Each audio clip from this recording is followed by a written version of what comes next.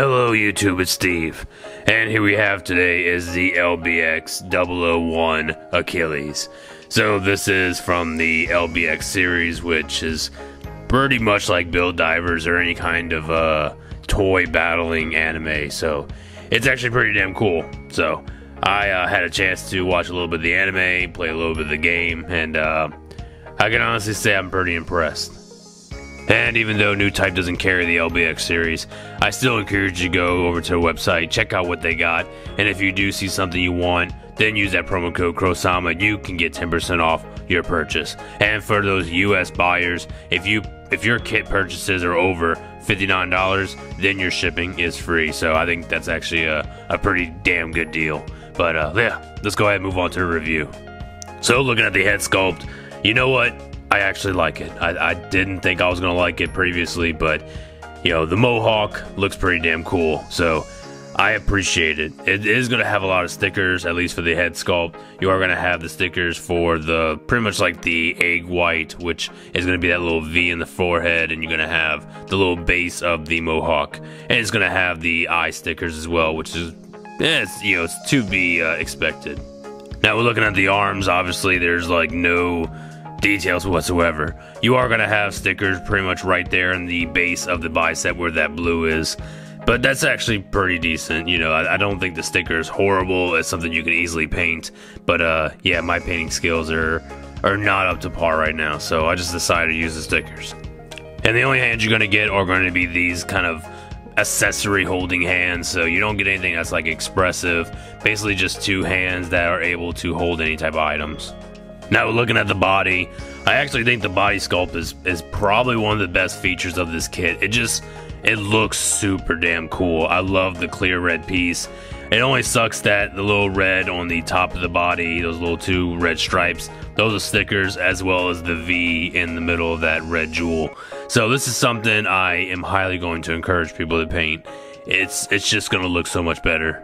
And you're to have a sticker right here in the back of the body. Now, the waist, I would actually say uh, there's probably a lot left to be desired. It's hardly any kind of detail, it looks fairly plain. But you know what? It, it just kind of does its job. I, I wish there was a little more detail or something with it. But majority of time, the waist of anything is going to be pretty damn lackluster. Now with the legs, I absolutely love them. The only sticker you're to see is that blue that's pretty much resting right on top of the foot. Other than that, the gold is apart and it just basically goes right underneath that blue part that goes on top of the leg. Lots of good color separation for something that honestly I think would be relatively cheap. So yeah, I, I, I really understand why the Gunpla God gave me this. This kit is is pretty top tier for being something that is uh, low cost. Now let's talk about the elephant in the room. The damn cape is just a piece of paper, a piece of paper that you have to cut out from the instruction manual. I don't care if every single kit has been like this in the past for the LBX series. This shit is is just horrible, unexcusable. Because I've seen that hyper dimension whatever damn kit, and it actually comes with cloth. Granted, you have to pay a little bit extra, but I would pay the goddamn extra for some cloth. It doesn't even need to have wire in it to stand up. I'll I'll fix that myself. But goddamn paper.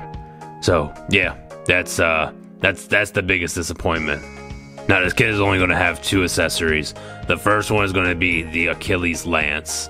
So it honestly is a pretty damn cool weapon, uh, but originally it's actually supposed to be molded in uh, silver, or so it's actually a pretty damn cool weapon.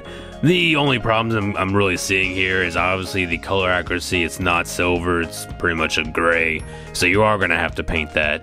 Uh, also, there's no real way to kind of arc the uh, the wrists, so that way you can actually have a thrusting kind of motion. But you know what? It is what it is. I, I still think it looks pretty damn cool. So if you want to mod it, definitely do so. Uh, and otherwise, I, I, I still think it's it's still pretty damn cool. And lastly, you are going to have the Achilles shield. I don't really care for the gold. I think the gold looks pretty damn tacky. But uh, you know what? the the shield overall doesn't look bad. I uh, I just kind of wish the gold looked a little better.